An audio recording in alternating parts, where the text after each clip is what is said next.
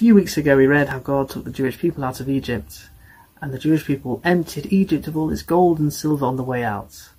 In this week's Torah reading, we understand why. In order to donate and give it to the construction of the Mishkan, the portable temple the Jewish people travelled with in the desert. Strange wording is used. God says, V'yichuli truma, and you shall take for me a donation. Why take for me? It should be, and you shall give to me a donation. And our sages point out, because whenever you give, you really receive, you're really taking. If you love, if you share kindness, you become a better person. The joy in giving is much more than receiving.